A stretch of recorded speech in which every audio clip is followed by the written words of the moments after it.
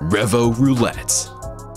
If you and your friends love to party every other weekend, here's a robotic shot dispenser that can really take your game up a notch. The Revo Roulette is a totally new way to fill your shot glasses. This unique dispenser offers two modes, Standard and Race, and 8 different party games. You can have a memorable time with your friends playing Ching, Spin the Bottle, Snap, Sequence, Reaction, Whack-A-Mole, Catch the Rat, and Odd One Out. Now that's a guaranteed way to ensure a fun evening. Another amazing part is that around 1 to 6 people can play at a time, so no one would feel left out. The shot pour is also pretty handy and convenient to carry around on the go, thanks to its USB battery bank option. With this gadget by your side, it's time to party it up no matter where you are.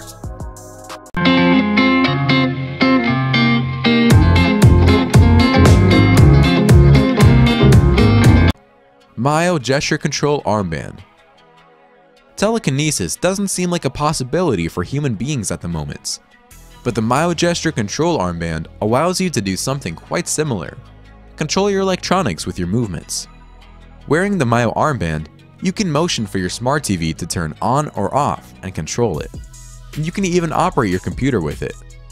Living in a smart home would be so fun with this armband, and it's sure to leave an amazing impression on your coworkers when you use it during work presentations and meetings. The digital startup company Thalmic is responsible for this invention, and it's been in the market since 2014. You can buy a Myo armband for almost $200 today. No more woof. If you have pets, there's a good chance you've at least once wished you could understand what they're barking on about and have them understand you. Well, thanks to this cool headset called No More Woof, you can finally translate dog talk into human talk. The headset works by reading your animal's brainwaves and then actually translating them into human language. Two-way communication is their ultimate goal.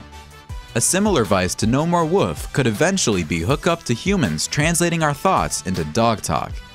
The developer Eric Calderon ran a successful crowdfunding campaign in 2013 and says the project is currently still in progress, so you won't be able to buy one just yet.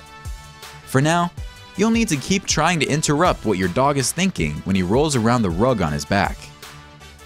Bag of Hands. In March of 2018, a fisherman in Siberia made a gruesome discovery on the icy beach of a river island near the city of Khabarovsk.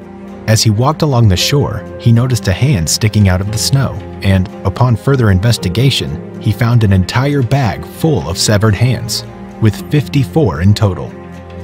Everyone's first thoughts upon hearing about this was foul play, but according to Russian authorities, there was a simpler explanation to this. They said that the hands had been disposed of by local forensics labs, but in an unsanctioned way.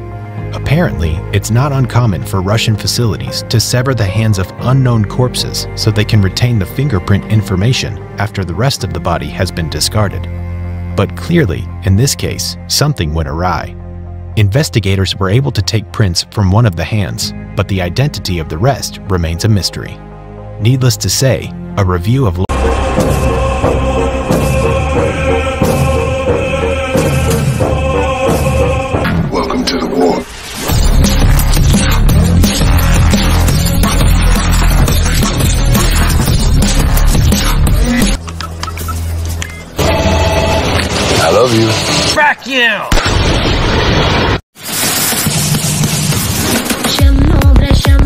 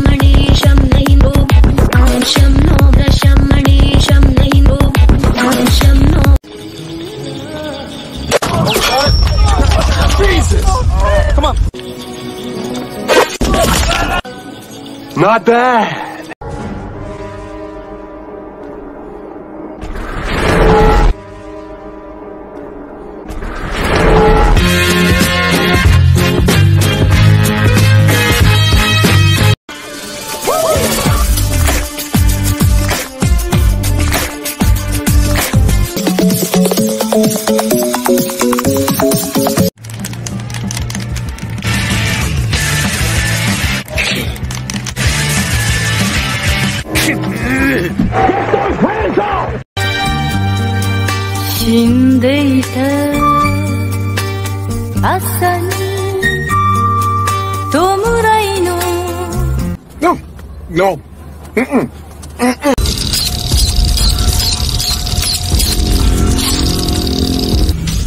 I need your clothes, your boots, and your motorcycle.